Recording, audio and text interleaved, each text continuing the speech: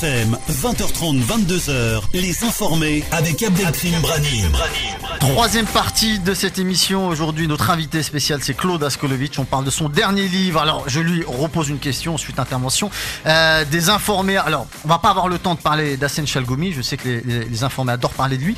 Euh, on va parler peut-être de Manuel Valls, Claude Askolovitch. Vous dites dans le livre, en gros, arrêtez-moi si je me trompe, euh, vous n'êtes pas d'accord quand les musulmans trouvent que Manuel Valls n'a pas du tout la même attitude avec la communauté juive qu'avec la communauté musulmane. Claude. C'est plus compliqué que ça. Faut toujours dire d'où on parle. J'ai des liens personnels avec Manuel Valls, qui datent de bien avant ce bouquin, qui sont du registre de l'intime. Donc je suis toujours à la fois empêché, scrupuleux et informé, et parfois même plus en colère. Donc ça, c'est un point. Je parle de là.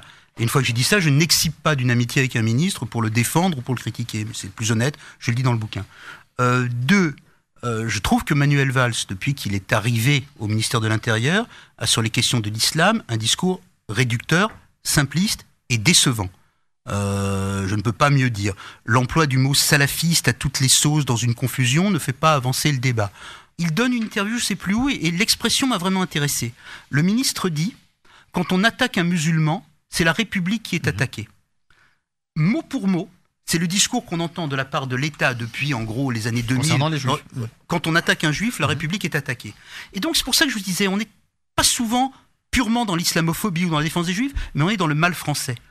Le ministre, comme ses prédécesseurs, ne peut se vivre qu'en représentant d'une république souveraine et majestueuse qui protégerait des pauvres minorités.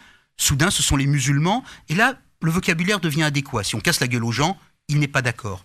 En revanche, et ça c'est le vieux complexe français, la France majestueuse protège les petits, les juifs, demain les musulmans, pourquoi pas. Ça le ministre sait faire, il ne sera pas attaqué, même s'il a mis du temps.